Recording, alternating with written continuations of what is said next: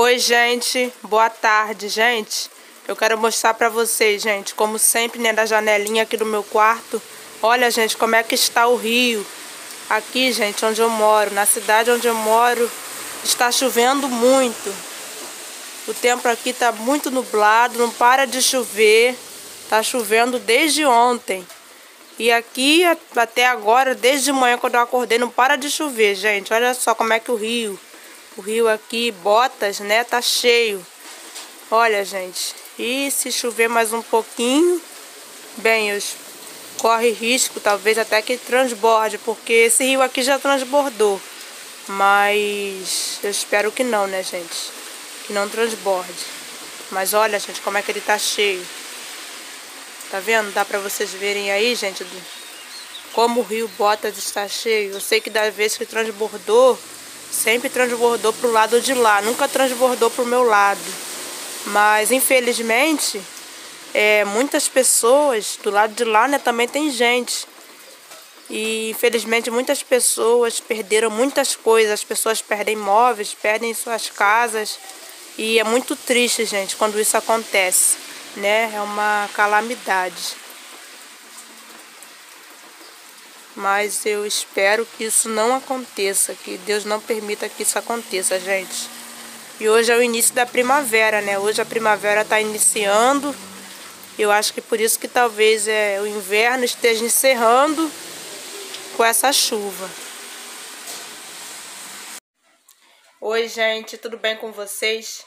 É, gente, como vocês viram, né, eu mostrei o rio e falei para vocês que hoje é o início da primavera. Hoje inicia-se a primavera, gente. E aí, gente, vocês gostam dessa estação primavera? É uma estação, né, que, que tem muitas flores. Quem tem jardim, quem mora perto de jardim, né, vai poder contemplar aí as flores. Vocês, mulheres e homens também, né, vocês gostam de flores? Vocês acham, né? Flores é uma coisa tão, tão bonita, tão linda e começou a estação das flores, gente. Hoje.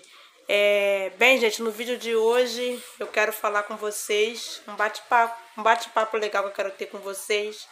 É, falar, gente, é, das novelas, das novelas, das novelas que eu gosto, das, das novelas que fizeram parte da minha vida, da minha infância né? Porque assim, antigamente, antigamente não tinha internet. Antigamente não tinha internet, não tinha essa coisa de YouTube hoje em dia, né?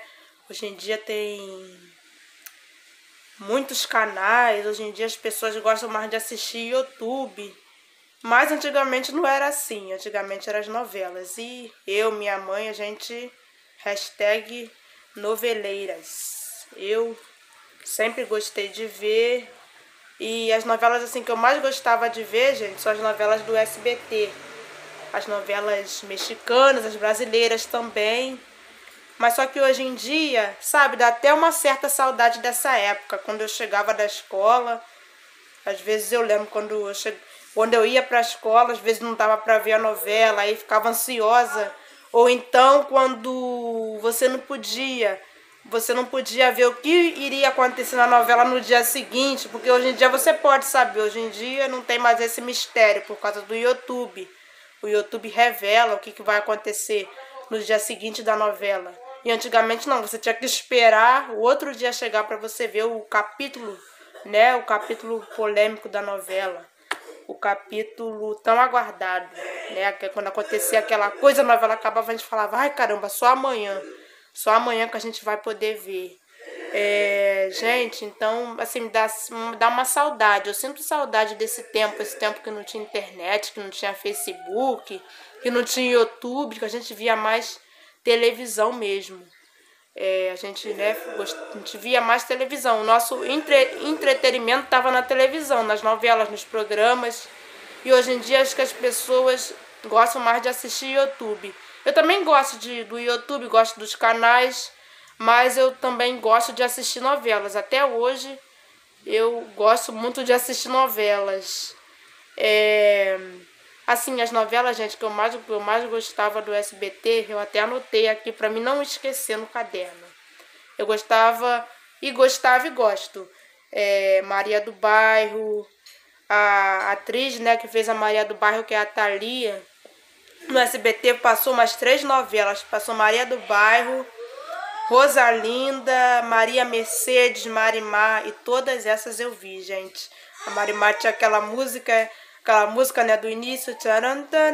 pam, pam, pam. Ah, não, era Maria do Bairro, essa da Maria do Bairro. A Marimar era Marimar. Au! Ela dava aquele gritinho. Era muito engraçado. A minha irmã, gente, a Luísa, ela gosta, ela gosta até hoje de. Sabe que eu gosto de ver? Eu gosto de procurar no YouTube pra mim ver e dançar abertura de novela. Eu vejo a abertura de, dessas novelas todas, gente. Então, Marimar, teve. Aí a Marimar e depois teve a versão, porque o México gosta, é, o México gosta de fazer muitas versões. Teve a Mari Cruz, que foi semelhante, né? Quase a mesma coisa, a mesma história do que a Marimar. E os atores que eu também gosto, gente. Meu ator, meu ator preferido, meu ator favorito mexicano, gente. É o galã da Maria do Bairro. Também foi o galã. Não, da Rosalinda ele não foi, não. Da Rosalinda foi outro. É o Fernando Colunga, gente. Eu, nossa, é Fernando Colunga, gente. Dá até uma coisa assim, sabe? Falar dele.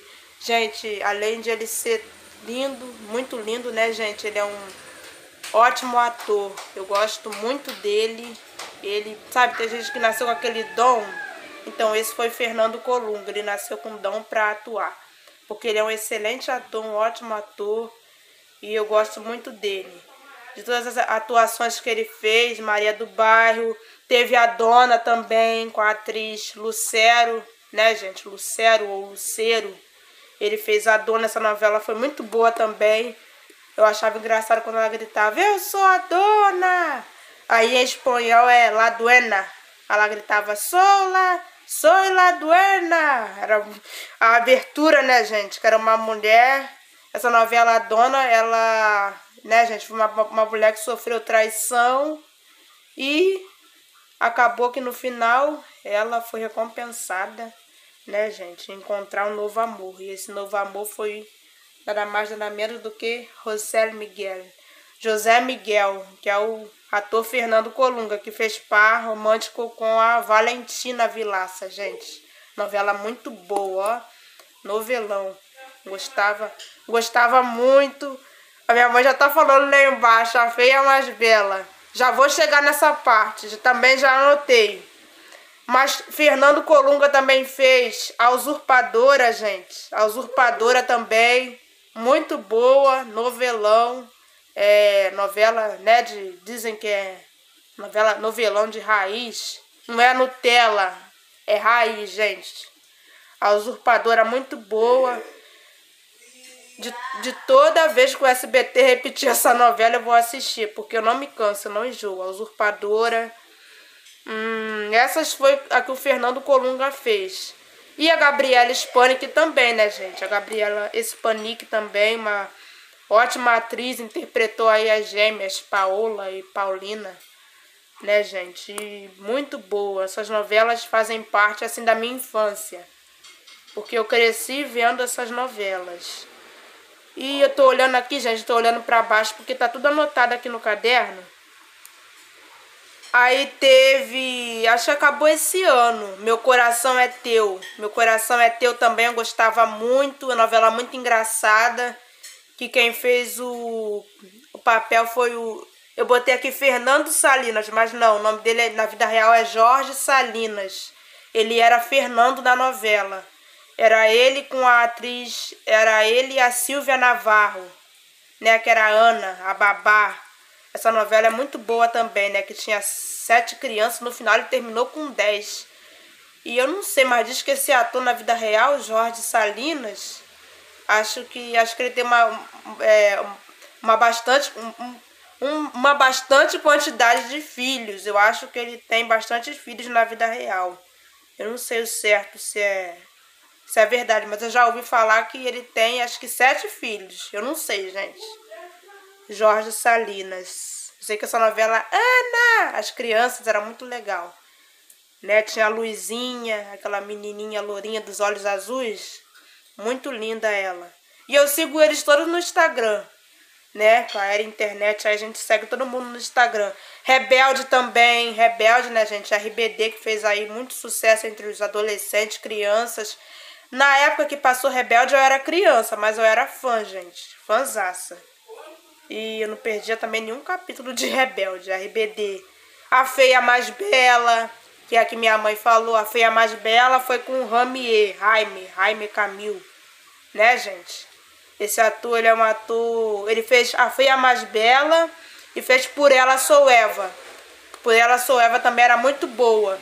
Que ele se, disfarçou, ele se disfarçou de mulher para conquistar Helena. Ele né, fez isso por amor, por ela.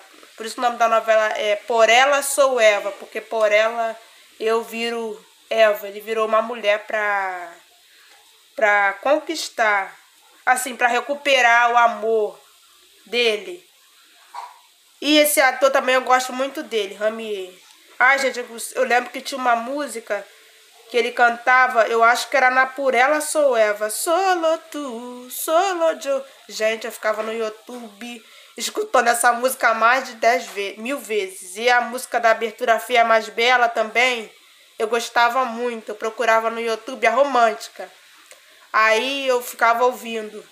Aí, gente, era o Fernando, que era o par romântico. Eu não sei porque que o médico, gente, esse nome Fernando é muito comum lá. Porque o Ramier também era Fernando na Feia Mais Bela. Aí ficou o Fernando, seu Fernando e o Aldo do Mensaim também, que chegou depois, que foi o anjo, gente. O Aldo também, um bom ator. É o Juan Sole. Juan Sole, o nome dele na vida real. E muito lindo também. Trabalha muito bem, né, gente? E o, Fer... e o Ramier, ele é um. Ele é um palhaço, né, gente? Ele é muito engraçado. Eu gosto muito dele. E depois, agora o SBT tá passando que a vida me roubou. Que a vida me roubou, ela é mais nova. É mais nova. É, da primeira vez que passou, eu acompanhei. Mas agora dessa segunda, eu não tô nem acompanhando, gente. Mas eu também acho uma trama, porque, porque o ruim é que essa novela, as novelas mexicanas, né, gente? E essa que a vida me roubou tem muita maldade. Né? Eu acho assim um pouco injustiça o final do José Luiz. Né? Nessa novela eu acho um pouco injustiça. Aí teve o que a vida me roubou, também gosto. Rubi, apesar de tudo, né? Que a Rubi é bem maléfica, né, gente? A Rubi, longe de mim, a Rubi eu também gostava de ver. Tereza foi a versão de Rubi. Eu não gostei, eu não gostei. Eu vi, mas eu não acompanhei. Eu não gostei muito da Tereza não. Acho que eu prefiro até mais a Rubi. Parece que a Tereza era pior que a Rubi, sei lá. Eu sei que essa atriz Angelique Bouyer, né, que interpreta a Tereza, interpreta Montserrat, ela é uma atriz muito boa, eu gosto muito dela. Na vida real ela não tem nada de Tereza. Eu lembro que ela foi no Celso Portioli, ela falou que Tereza só o personagem mesmo, porque ela não gosta desse tipo de, de mulher, né, gente? E a Rubi, a Rubi ela era lá descarada, né, gente? Aquela mulher ali era mole não. Aí, gente, eu também gostava de ver a mentira, a mentira também, que foi com o ator Gaiecker o Gaia ele fez A Mentira. As duas novelas que passou do SBT dele que eu vi foi A Mentira e Gaivota. Ele tem várias outras novelas, mas o que o SBT passou foram essas. Inclusive, eu acho que o SBT deveria colocar mais novelas mexicanas, porque tem muitas. Né, gente? Eles gostam mais de botar com a Angelique Bouyer e com o Sebastião Rulli, porque eles dão muita audiência, né? Mas só que eu gostaria também de ver outras novelas, como a Esmeralda Mexicana, que eu não vi. Eu tenho muita vontade de ver, que o Fernando Colunga fez. Tenho muita vontade de ver. Então, gente, Gaivota e a Mentira eu também gostava muito. Gaivota eu não gostava no início, mas depois eu me apaixonei. Gaivota que voa longe, voa tão alto. Ah, é muito bom, gente. Se voltar também, eu tô, tô assistindo. E as novelas infantis, gente, que eu gostava também, O Diário de Daniela, eu não lembro muito bem, mas eu lembro que eu gostava. Tinha uma novela também, é Alegrifes e Rabujos, que também o SBT passou, que era uma novela meio mística, né? o Diário de Daniela, que foi com a atriz, eu esqueci o nome dela. Mas o Diário de Daniela, a Ana aí, que era do RBD, era irmã da Daniela, eu lembro. Carinha de Anjo mexicana também, eu não lembro, porque eu era pequenininha na época, quem viu foi minha mãe, mas a brasileira, que o SBT, né, que a dona Iris Abravanel fez, eu gostei, eu gosto muito. Tem as Chiquititas, né, gente, que, tá, que voltou também. Eu também gosto, assisto. Chiquititas eu vejo, gente. Eu vejo Chiquititas. Mas a Chiquititas tem a brasileira e a mexicana. Né? E também tem a brasileira de 98. Mas a que eu vejo é essa que tá passando agora. É, Gotinha de Amor também, gente. Era uma menininha tão linda. Aquela menina ela tinha os olhos verdes, ela tem, né, os olhos verdes, ela tinha a franjinha, o cabelo assim, né, gente, lisinho, tão linda ela, a atriz que fez a Gotinha de Amor, mas era uma menina que sofreu muito também, acho que ela era de um orfanato, ou ela era de uma, tipo um colégio de feiras de meninas, tipo a carinha de hoje, mas ela era Gotinha de Amor. O ruim da novela é que a menininha sofria muito, gente. Pra idade dela, acho que ela tinha uns 4, 5 aninhos, era muito sofrimento. Porque novelas mexicanas é assim, é dramalhão. E as brasileiras do SBT, e tem outras mexicanas também, porque são muitas, eu não lembro. Tem a Cuidado com o Anjo, que era com William Levy. E quando o William Levy chegou, eu lembro que eu assim me encantei por ele, mas é, William Levy eu gosto, mas eu acho que eu gosto mais, acho não, gosto mais do Fernando Colunga, gente. Gosto mais do Fernando Colunga. O Cuidado com o Anjo foi com William Levy com a atriz que fez o Rebelde, que foi a Lupita. É... Cúmplice de um resgate também mexicano, muito boa. Tem a versão brasileira que eu também assisto, gosto. Mas as novelas mexicanas, né, gente, eu costumo falar que são as melhores. As novelas mexicanas não tem igual. É... Deixa eu ver mais qual. Ah, as brasileiras que passou no SBT foi Canavial de Paixões, que foi com a atriz Bianca Castanho. Inclusive, hoje eu fiquei sabendo que a Bianca Castanho, gente, a que fez Canavial de Paixões, ela mora nos Estados Unidos. Ela acho que se mudou pra lá, né? É, essa novela também muito, muito triste. Mas, né, a história da Clara era muito triste também. Ela sofreu muito. Era Clara e Paulo. Gente, novela, antigamente, acho que a professora falava assim: se eu perguntar uma questão da prova, você não sabe, mas pergunta da novela. Gente, eu, eu sei tudo de novela. As novelas mexicanas, pode me perguntar que eu sei.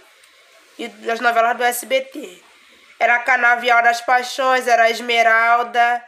Essa atriz Bianca Castanho fez Esmeralda, fez Cristal. Esmeralda foi com. Qual o nome dele? Ah, aquela novela também que ele fez. Ih, lembrei agora de uma. Mas eu esqueci o nome dele. Eu lembrei, mas não sei o nome. Eu esqueci o nome do ator. Ele é filho do. É o Cláudio Lins. Ele fez a Esmeralda com a Bianca Castanho e fez a. Uma outra aí. Que eu... Cara, qual o nome da novela, gente? Ah, eu vou lembrar, depois eu falo. Eu sei que ele fez Esmeralda e teve Cristal, que foi com Dado Dolabella e a Bianca Castanho. E também teve a Pícara Sonhadora, que já foi com a outra atriz, Bianca Rinaldi, também é Bianca. E Pérola Negra, que foi com a Patrícia de Sabri. Essas novelas todas eu vi, gente. Agora que o Cláudio Lins fez, qual o nome? Ah, Uma Rosa com Amor, lembrei, essa novela. Uma Rosa com Amor, gente.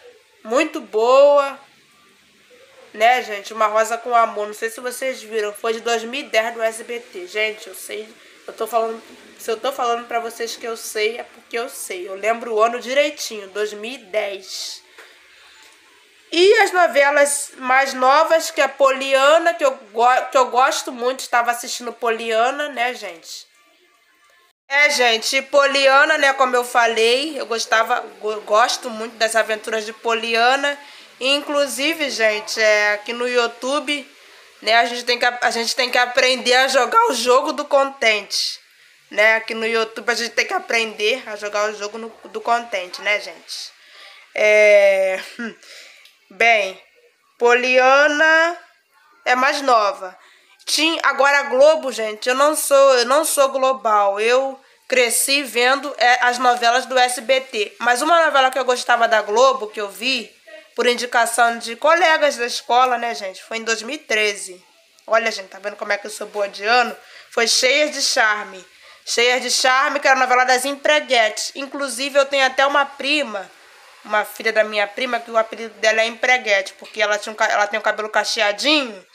E na época que ela nasceu, a minha avó, a minha avó, como sempre, gostava de colocar apelido de né, chama, chamava a menina de empreguete, aí pegou. É, então essa novela cheia de charme, que foi das empreguetes, é, foi a Thais Araújo e, e a, a, Leandra Leal, aquela que fez a Emília, eram as três, né? Era três empreguetes e eu gostava muito. Eu sei que é isso, gente, eu sou noveleira. E aí, gente, vocês gostam de novela? Quais novelas que vocês lembram, né, da época?